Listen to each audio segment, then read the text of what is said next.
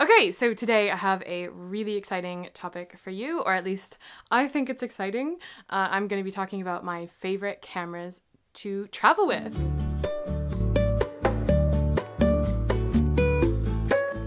And I have caught eight cameras to talk about with you. So settle in and let's go. A few housekeeping things. This is not going to be like a technical discussion of the cameras. It's literally just going to be like my thoughts on the camera, what I like.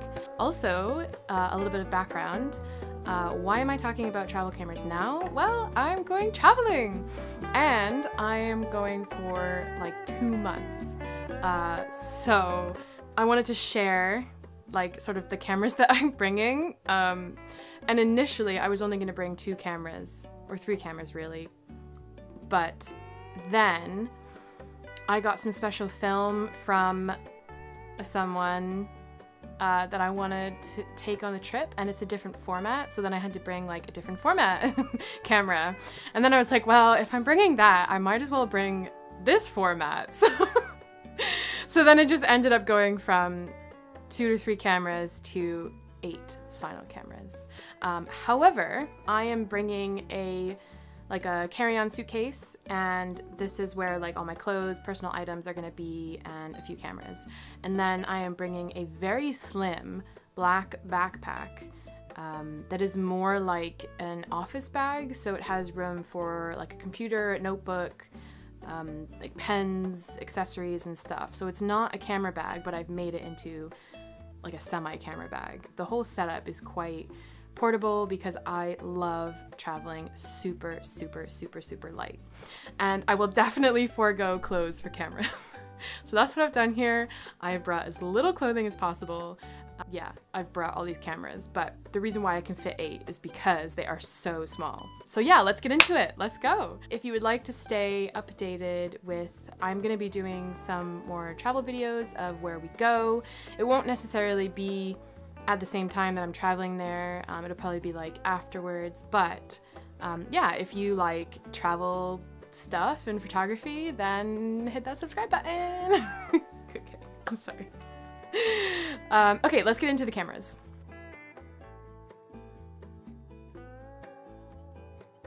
So I have a confession to make. I am gonna need to split these cameras into two camps because some of them are digital and some of them are film. I do need to bring digital cameras for specific reasons uh, and I will get into those. So I'm going to talk about the digital cameras first and get those out of the way and then we'll save the best for last and talk about the film cameras. So without further ado, So camera number one, dun dun dun dun dun dun. dun. What is it? What is it? It's the Sony RX104. Sorry. It was probably like, I've had too many cups of coffee today, so you're probably like, I'm sorry if you're just waking up and watching this. Anyways, um, so yeah, so I am bringing the Sony RX104, um, which I got on mpb.com for like maybe 200 pounds, 100, 200 pounds, and it wasn't in the best of shape. You can see the back is a bit like the LCD screen is like kind of messed up, but um, I mean, it still works and the lens is gorgeous. And will you turn on? Do I have batteries in you? I don't. Oh no. So this, the Sony RX series is an amazing travel camera digital series. Um, something like a one inch sensor, I think. Um, but I'm not exactly sure on the size. Uh, but it's, I mean, it, all you need to know is that it's, yeah, it's really good. The sensor is really good. Autofocus is fast, like all that stuff. It's just a really good camera. Um, it goes down to like 1.8 or 1. no, it goes down to 1.8. Um, so plenty of room to shoot at night. And it has a flip screen. So can you see yourself in that? There you are on the XH1. Um, yeah, so it has a flip screen, so it's really good. The only drawback, um, oh, it's also got a viewfinder. Oh, how cool is that? And that actually, like, you can pull that out and look through the look through the camera. Um, so that's really cool. So you can kind of use it like a camera with a viewfinder. Um, it's got a flash that pops up, which is great. Um, so it's kind of like an all-in-one, except Um, it takes 4K video, which is amazing. Um, and yeah, so the only thing about this camera is that it doesn't have a mic port, which is quite sad because then this would be like the only camera I would use. I wouldn't use the X-H1 probably because uh, this can record in 4K. One, th the reason why I'm bringing this is I'm taking a street photography workshop and I don't want to shoot film on the workshop because in order to get like I want to be able to review the images that I took during the workshop while I'm there instead of taking film and not like not really getting that instant feedback for the learning uh, purposes. Um, oh, and I will take, I have this strap where it like has these clips on here, um, which you can just easily take off and use the strap. Oh yeah, so this is my strap system. Okay, so quick camera intermission talk about the strap system.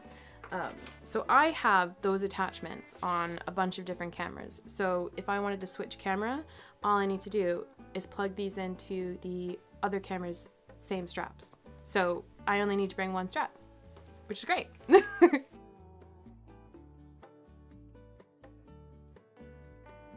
the second digital camera that I am bringing is the GoPro. Uh, so this is the GoPro Hero Black 7. Uh, which I actually got for free because I racked up like way like ages ago, years ago in the States. I don't have credit cards anymore, but when I did, I racked up so many points at a store called REI, which is an outdoors camping store. But so yeah, so I used all my points to get this. Uh, and I think they're up to version, they're up to like 10 or 11 or whatever GoPro now, but like the 7 I think was the first version that had really, really, really, really smooth stabilization. And you can also, there's a wide lens that is normal, like typically known, you know, GoPro for. But then this camera has a, it's called a linear lens. So it's actually more, it's like less wide. So it looks more like a normal field of view. Uh, and it's amazing and I love it and you can just put it on top of a camera or I've got an attachment where I can put it on my backpack strap here uh, and film while I'm walking. Um, and it's tiny, like, and I've got this cute little uh, Mega Gear case for it um, with like a carabiner so I can clip it on like different places. Uh, so it is, it is amazing. Um, and it's absolutely tiny, so it's nothing to add to bring on.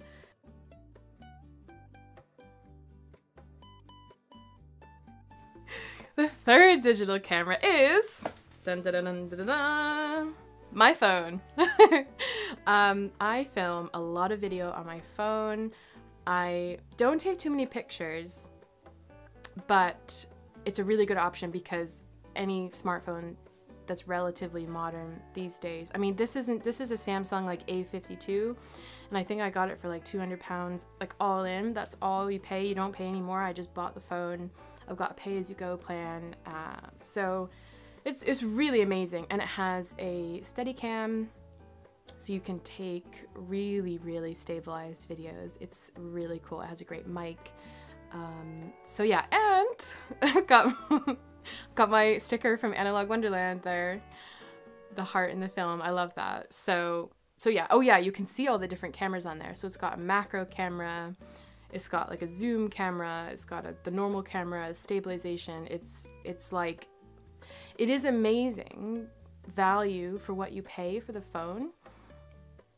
It's incredible. So yeah, this is, I, I count this as camera. okay.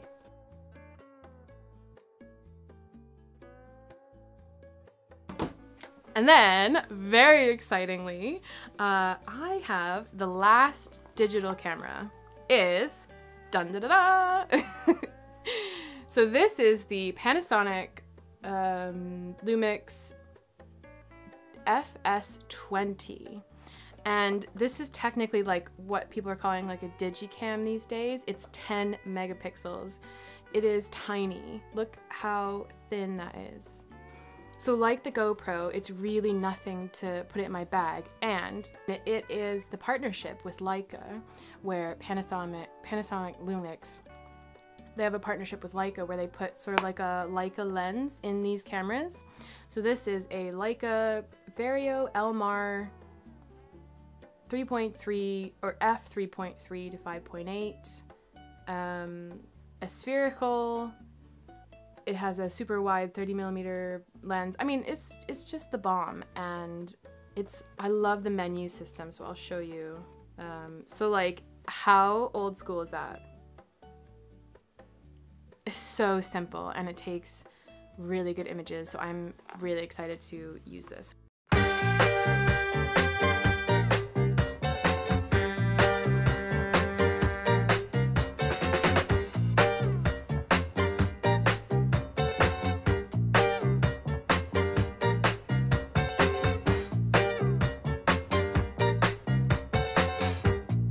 that is it for digital cameras.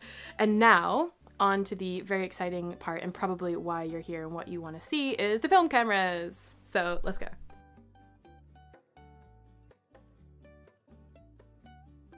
Initially, I was only going to bring one 35 millimeter camera and it's turned into one 35 millimeter camera, one 35 millimeter half frame camera, one medium format camera, and one 110 camera. so I have a problem, okay? Sorry. I will save the medium format camera until the last because it hasn't made an appearance on this channel in quite a while because it's been on loan with uh, a friend. We swapped cameras. Uh, so I finally have it back just in time for this trip. I am so excited. So I will tell you what that is at the end. So, so watch until the end.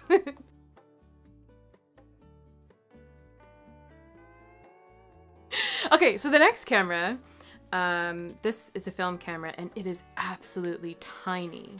So this is the Premier Mini 110 camera and it's literally like, like, yeah, less than my palm. Like it can fit in my palm, which is amazing. And it is a focus free camera. You just literally put the 110 cartridge in the back close it up, you're ready to shoot. Well, wind on a bit first, um, open this, and you're ready to go. And it is so small, it's amazing. I mean, the cartridges, I've brought two cartridges for the moment, and I'm hoping to pick up more, but two is enough for this. It is so small. It's like packing an extra bar of soap. so, so it is awesome. And I've shot Lomography Orca black and white on this and it came out awesome. I just love it. Um, and I have packed some Lomography Tiger film and purple film. So I'm, I can't wait to shoot that. Um, so yeah, so this, I mean, and it comes with this super cute case. Love it.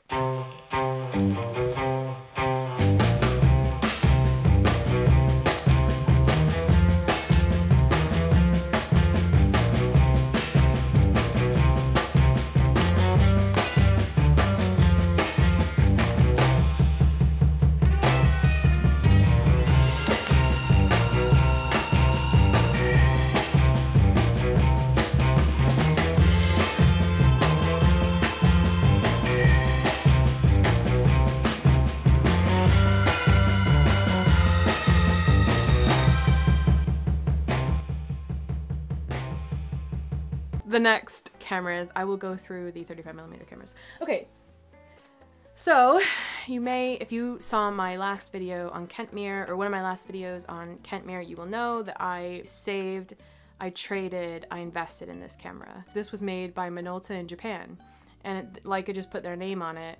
Um, so it's really a Minolta technically. It's got a Minolta lens. It's got the Minolta Rokkor 40 millimeter f2 lens. And what I've done, I'm really excited. So this is a, a 40.5 millimeter filter thread and I have a filter that goes on there, but I've also got an adapter because I used to have all these really cool filters for the Nikon F3, like a red 72 filter, which is really cool for infrared black and white photography.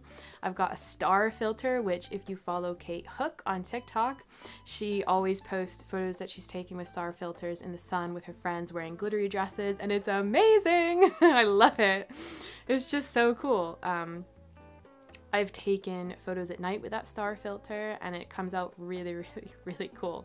So I'm really excited to use that. So I've got an adapter that will let me use those filters on this. Um, So, uh, the reason why I brought this one is because it is the smallest rangefinder that I have. I absolutely love rangefinders. Um, and it also has a really, like, it has a very well working light meter. Uh, it's very reliable. I'm really excited to use those filters with it. The I've brought the Red 72, which is more for like infrared black and white, because I've brought some black and white film. Uh, I've brought the star filter and I've brought, there's one more. Oh, I've brought the Pro Mist filter. So I, I'm not using it right now, but I used to, I've recorded some videos with the Pro Mist one quarter filter, which is really hyped up right now on YouTube and videos because it gives like your video just like a more soft cinematic look and people love it. Um, so I got one to try it and see how it looks, and it's awesome. i I'm not sure what I prefer yet though, but I am gonna put it on here and take some photos and see what it looks like like with still photography. So I'm excited. Um, I know I've seen if you watch uh, Vuhlandes's Vuhlandes's channel, uh, he uses the Pro Mist filter a lot in some of his videos and his images are freaking amazing. So I'm excited to see what that might look like and play around with it. I'm just really excited to like this just play around and have fun.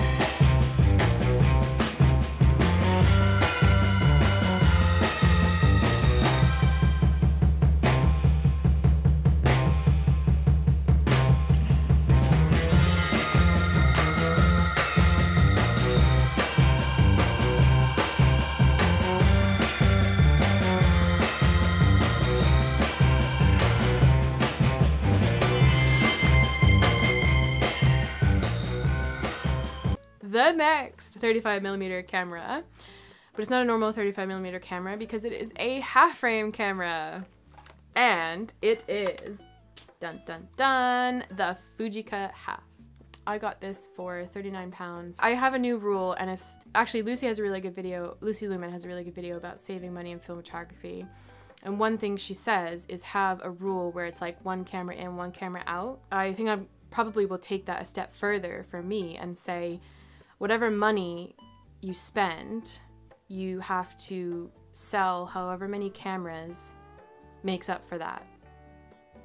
So because I if I bought if I bought like obviously I bought this, I only had to sell like one other camera but for the Leica CL I had to sell like a few. So um, but that's okay, it was worth it. so I should call it the Minolta because it is really a Minolta. I'm getting so sidetracked. So the Fujica half, um, this is a, this is an amazing camera. I had had trouble finding good half, good working half frame cameras on eBay. So then when I saw this on West Yorkshire Cameras, I immediately jumped on it and, and bought it. Um, and it's working. The light meter is working. It has these cells here. So this is the light meter. So it doesn't need a battery. It's just got these cells. And the amazing thing about this camera is that you can put it in fully automatic mode, which is incredible to me um, because this camera is ancient. Um, but you can also put it in manual mode. So it has manual aperture, manual shutter speed, um, but then you can put it in complete auto mode and the only thing you have to worry about is the focus. So it does have like a scale focus here. see if you can get close up.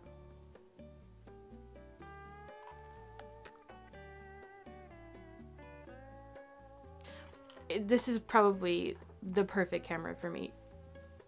It's amazing. No batteries, manual and auto modes. I love these, um, this style of winder. This is my favorite style. It's why I have the Canon 7, uh, the Canon L3. I just, oh God, I love that. that. It's like all metal.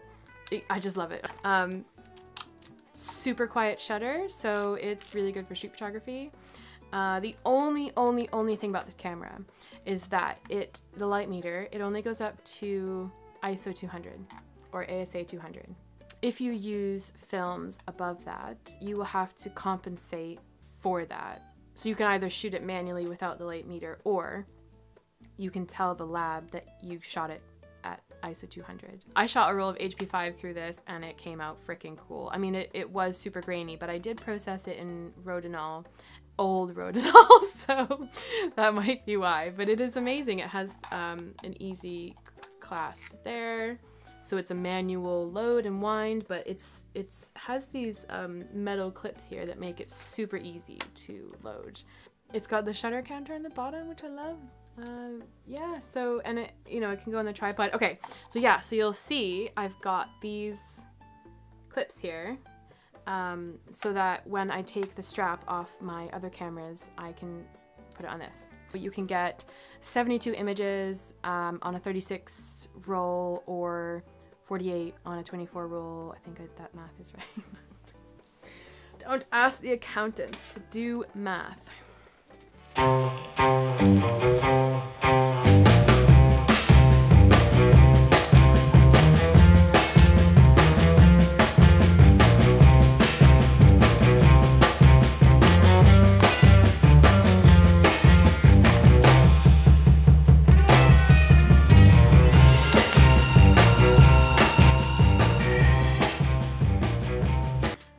So last but certainly not least, this is the first medium format camera that I got. This is one of my favorite cameras ever. Uh, this is the camera that Mike tried to use and we did that really, really funny video. Uh, I mean, we had a lot of fun and I know some people enjoyed it um, and it, was a bit silly, but it was a lot of fun.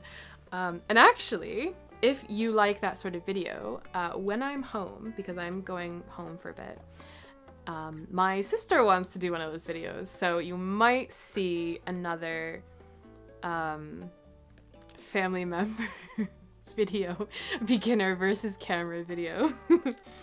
uh, okay, so stay tuned and subscribe so you don't miss that video.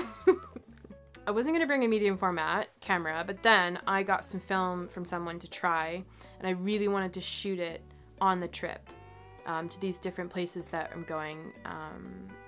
And I, I will reveal what and why that makes sense in a later video. Doing a little teaser there. The film was medium format, so I had to bring a medium format camera, and my choice is currently, um, because I sold the Yashica Mat 124G, or the Yashica Mat 124G, I sold that because it's too big, it's too bulky, and I used it in Greece, and I think it was a good last hurrah for that camera. Um, but I just kind of fell out of love out of love with it. So I sold it. Don't have that anymore. Uh, what I do have is the Fuji or the Fujica GS645W, which is an amazing camera. Um, but it is quite big. It's not that big, but is quite big compared to the Zeiss Ikon Netter. I feel like I say that the same in every video.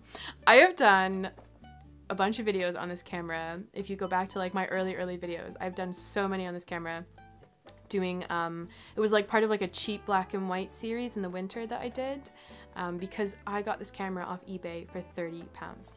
So this is how slim it is. And it comes in this beautiful case, which I absolutely love. It's got its own strap.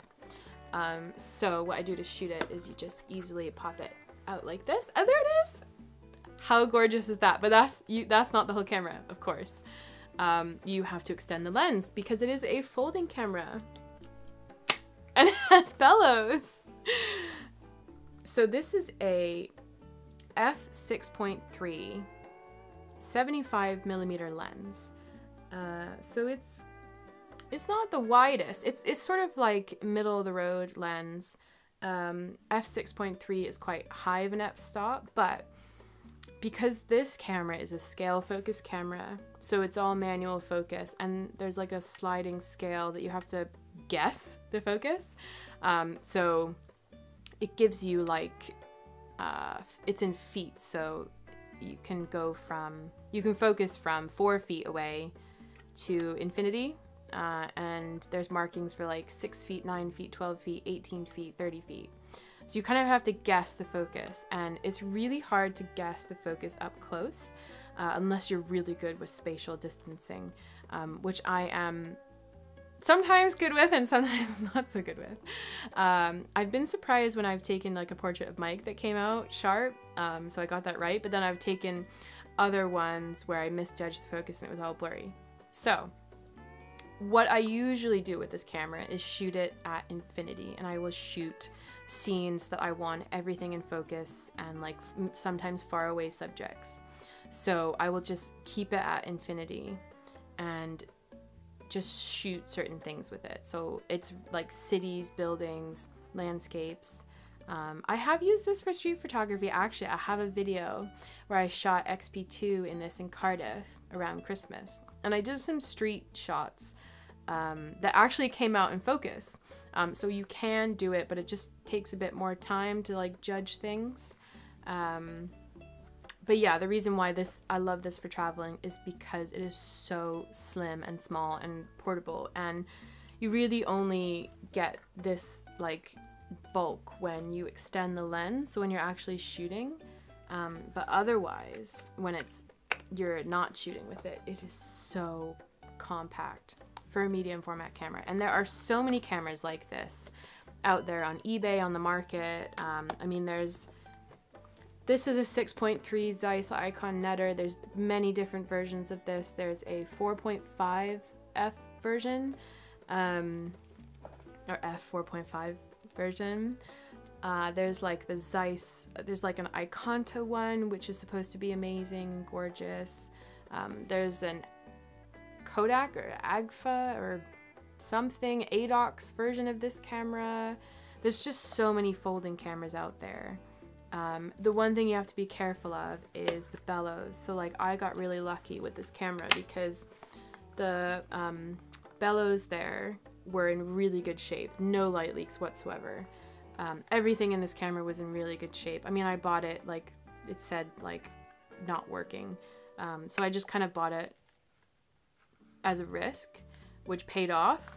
Um, but that doesn't always pay off for me on eBay. So um, you do have to sort of like do like do research and just be careful and really like assess the photos and you can ask questions and stuff.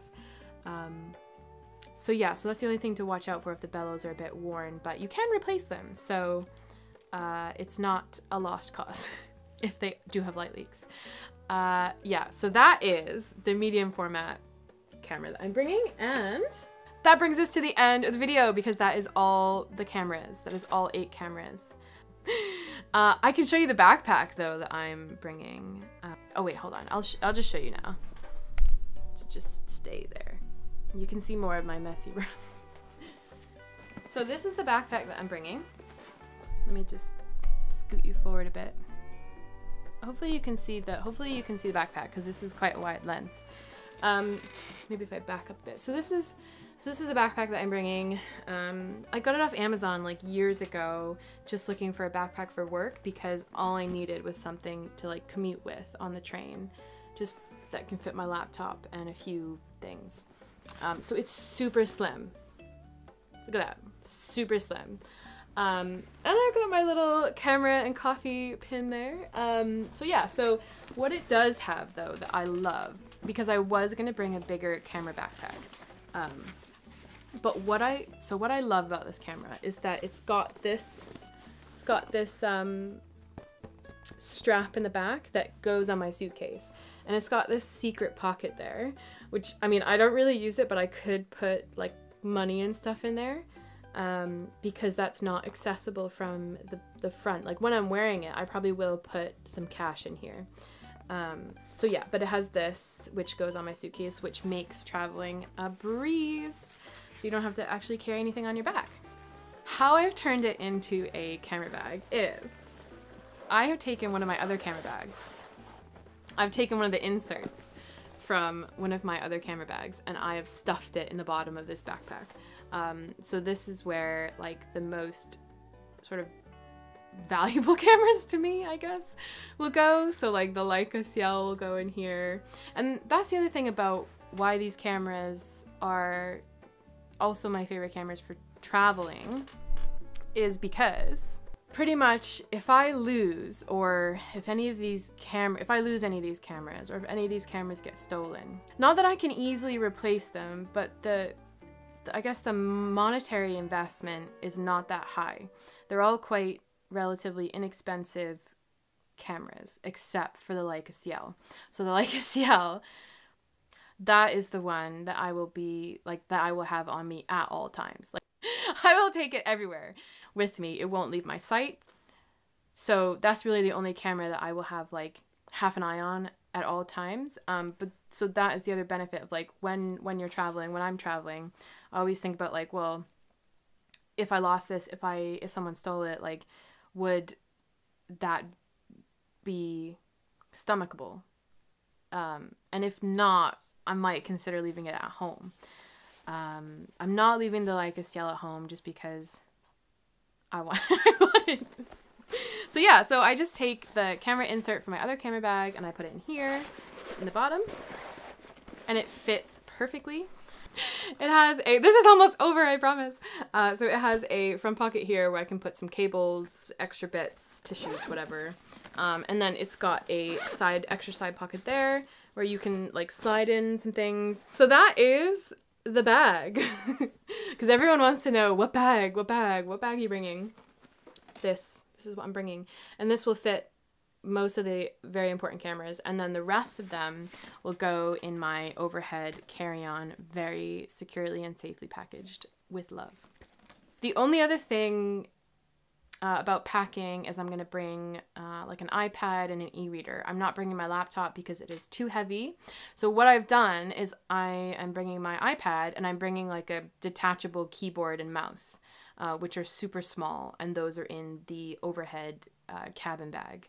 Um, so that's sort of the system that I've worked out that suits me best because I edit all my videos on the iPad and I've got attachments where I can plug in like SD cards or I can like upload from my phone and then download on the iPad like different videos I take on my phone. Yeah, that's the system. The only other thing I'm bringing that I haven't mentioned yet, and it's because I'm using it right now, is my Rode. It's a Rode Go shotgun mic. It's not the super big one, it's like quite small. Okay, so super quick, because my camera battery just died and I don't have any more that are charged. um, I just wanted to finish. So this, I am bringing this mic. It is the Rode uh, Go mic. It is wired, um, but I have an attachment that I can plug this into my phone and use it with my phone. Uh, right now I'm using my phone's native audio, which actually isn't too bad. Uh, but I will be bringing this uh, which is super small, super portable, uh, in case I want to do any high quality audio recordings with my phone. Um, I also forgot to mention what tripod I'm bringing. That's this. So this is a, it's really kind of like a selfie stick, um, but I feel a bit cringe saying that it's a selfie stick. So this actually is a tripod and it has an attachment there and I've got an attachment for the GoPro and my phone. Um, but the reason why I love this thing is because it has a, another cold shoe here. So I can put my mic there when I want to record with my phone. Um, and it's hard to do this like one-handed, but you see it like pops out like that. And then the bottom actually like opens up into a tripod. So, God, this video is going to be awful. so it opens up into a tripod. It's not like a GorillaPod that you could like wrap around different things. Um, but it is, it just has everything that I need and it's super small and lightweight and can fit in like a backpack or a purse. Uh, yeah, so that's, that's really it. That is like my packing, uh, video. so now it's your turn. Let me know what cameras you prefer best for travel. What is your favorite camera to take with you traveling? And if you have any thoughts on the cameras that I showed you today, please leave a comment down in the comment section below and let me know what you think. Um, I will see you there after this. So yeah, take care and I will see you guys next week with another video. Bye!